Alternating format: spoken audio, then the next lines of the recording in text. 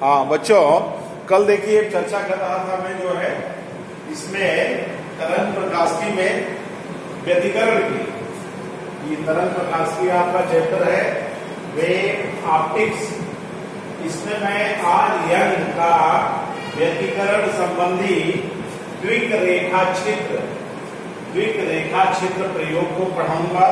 इसमें band with slip की चौड़ाई भी निकालना आपको दिखाएँगे। ठीक है? इसमें चूँकि ये दो स्रोत हैं, देखिए, प्राथमिक स्रोत यश और द्वितीय यश वन और यश है। और यहाँ इस तरह के जो है, बैंड देखने को मिलते हैं। इस तरह के बैंड आपको देखने को मिलते हैं। और यह डार्क बैंड।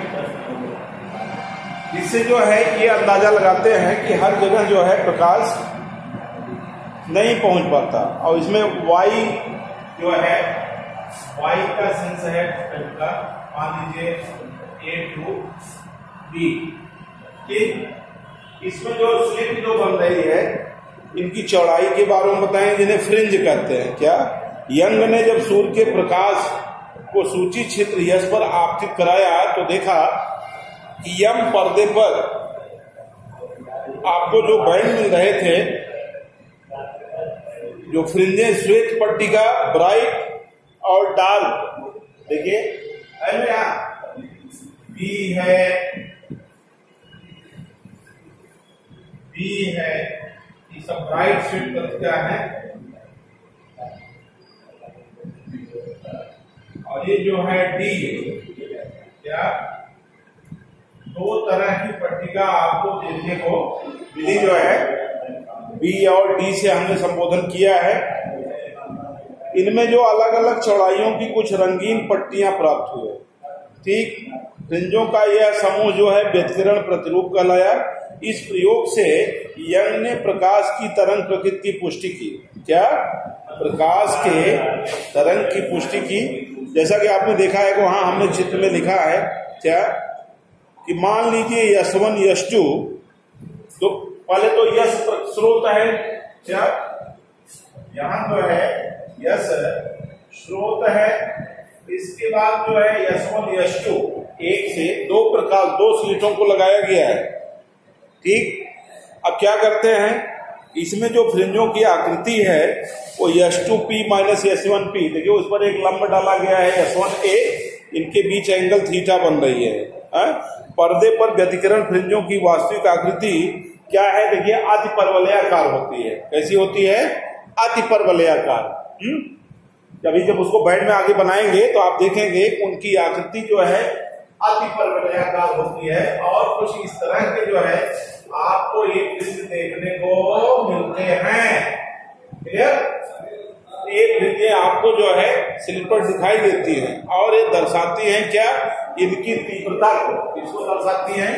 इंटेंसिटी तीव्रता को दर्शाती है। ठीक?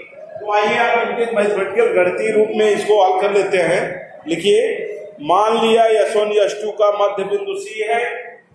मान लिया मान लिया, सोर्स सोर्स देख रहे हैं ना, स्रोत यशवन यश टू का मध्य बिंदु सी है मध्य बिंदु क्या है? सी, जैसा कि आपने किया जीवन में दिखाया भी है। इसको माना गया है। मान लिया यशवन और यश टू। का मध्य बिंदु क्या है? सी है। ठीक? आगे लिखिए। यशवन यश टू का लंबर्धक सीओ पर्दे पर। लंबर्धक के सीओ जो है क्या है? ये लंबर्धक है। जो कि पर जो है वहाँ दर्शाता है। सीओ, ठीक? अब इसमें जो है स्लिटों के बीच की दूरी यशवन यश टू बराबर डी है क्या S one S one S two equal to D है। और यहाँ देखिए, कैपिटल डी किसके बीच की दूरी है? सीओ। सीओ इक्वल क्या है? Capital D. CO equal capital D. बात क्लियर हो गई? अब यहाँ कैपिटल डी जो है more greater than small D है। याद रखिए capital D more greater than small D ठीक? अब आइए इसके मैथमेटिकल में चलते हैं। सबसे पहले क्या करते हैं? इसे बिंदु ओ पर पहुँची दोनों तरंगों के बीच क्या है? पथांतर शून्य। वहाँ देखिए, बिंदु पी पर पहुँची दोनों तरंगों के बीच पथांतर क्या है? शून्य है। और वहाँ संपोषी व्यतिकरण होगा। क्या? संपोषी।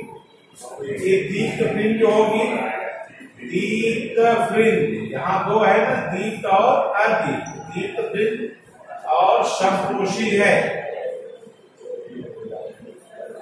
दीप्त फ्रिंज जैसे ब्राइट डार्क ब्राइट डार्क हमने लिखा है।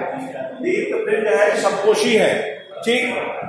अब ऐसे में यशवन से यश टू पर क्या है? डाला गया लंब।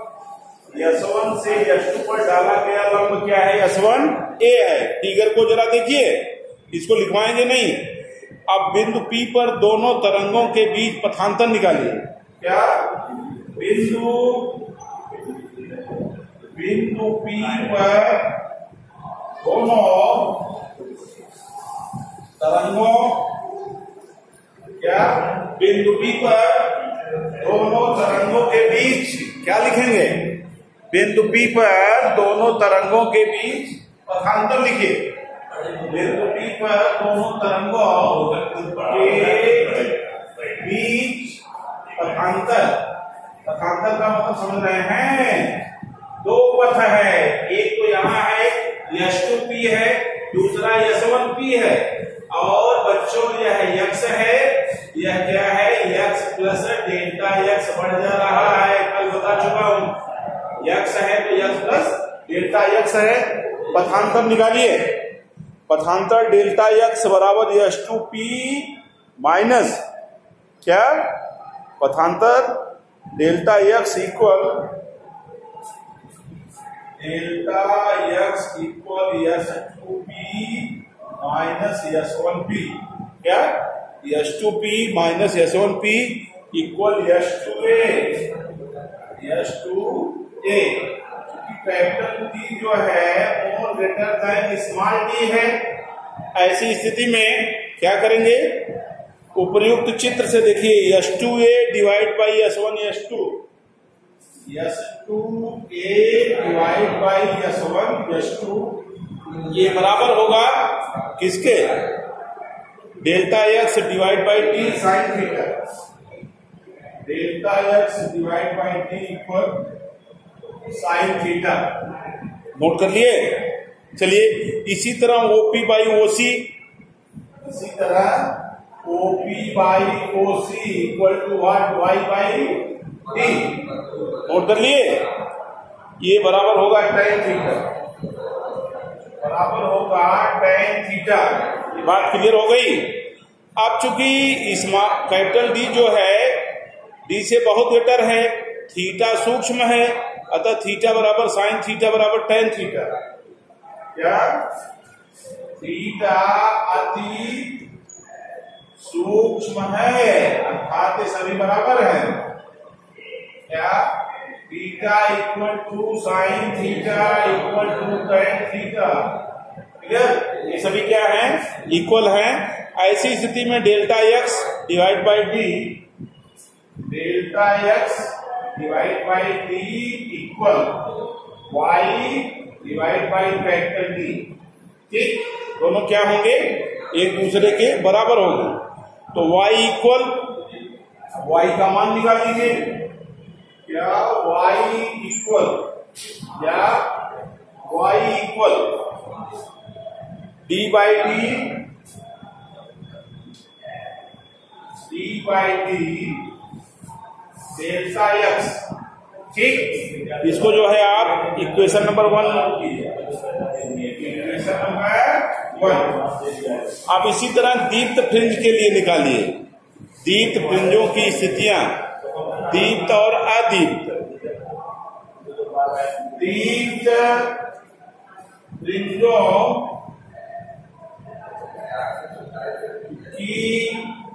स्थितियाँ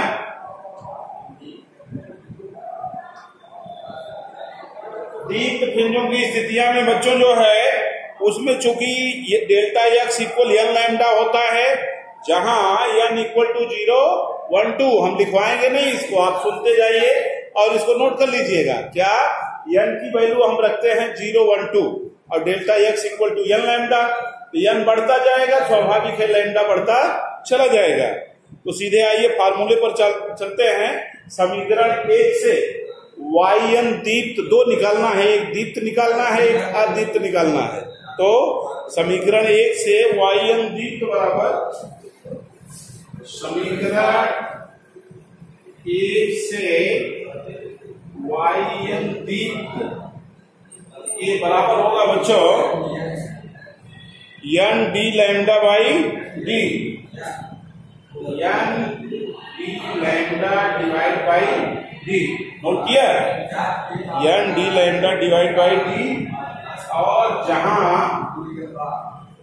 N equal to zero one two and so on ठीक? ये तो दीप्त फ्रिंज के लिए हो गया। इसी तरह अतीत अदीप्त फ्रिंजों की स्थिति। है अदीप्त फ्रिंजों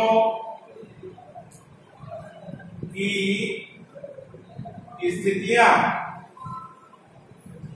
आदीप्त फ्रिंजों के लिए जो है आप निकाल निकालेंगे आदीप्त फ्रिंजों के लिए वहाँ लिखेंगे वाई एन अदीप्त। क्या? वाई एन अदीप्त। वाई एन अदीप्त। ये बराबर होगा बच्चों। क्या? लिखिए। N minus one by two N minus one by two D lambda divide by D लिख लिए? यहाँ जो है एन वन टू थ्री रखते हैं। क्या? यहाँ जो है एन का मान जो है one two three and one रखते हैं। ठीक? तो इस तरह दीप्त और अदीप्त फ्रिंजों की स्थिति जो है, हम निकाल लेते हैं। ठीक है? तो बच्चों, इस वीडियो में बस इतना ही। इसके बाद जो है, हम लोग निकालेंगे फ्रिंजों की चौड़ाई। क्या? जैसे जो फ्रिंज आई दीप्त और अदीप्त इसके बाद जो है, आप फ्रिंज की जो है, चौड़ाई निकालेंगे। ठीक है? फ्रिंज की चौड़ाई। नौ, इसको जो है, तुरंत साफ़ किया जाए। और पुनः जो है, फ्रिंजों की चौड़ाई के बारे में आपको बताया जाए, कैसे फ्रिंज की चौड़ाई निकालेंगे। या नोट कर लीजिए इसी में, क्या फ्रिंजों की चौड़ाई, उसमें क्या है जानते हैं? बीटा दीप्त और बीटा दीप्त निकालते हैं, जिसको आप जो है, एक वर्णी प्रकाश से उत्पन्न व्यतिकरण के लिए होता है। और वहाँ थीटा ज़ीरो इक्वल होता है बीटा डिवाइड बाई डी और लैम्डा डिवाइड बाई डी। द्विक रेखा क्षेत्र प्रयोग में यह है यंग के द्वारा दिखाया गया कि जैसे जो एंगुलर फ्रिंज विड्थ होता है कोडी फ्रिंज चौड़ाई, वह theta equal tan theta Y by D होता है। क्या? Theta equal tan theta equal Y by D ये फ्रिंजों की चौड़ाई इस तरह जो है आप निकाल लेते हैं। ठीक? इसके बाद जो है, आप इससे संबंधित नुमेरिकल हल करेंगे। और अभी जो है, इसी पर एक आंकिक हल करके आपको इस बात को जो है कंफर्म करा दे रहा हूँ।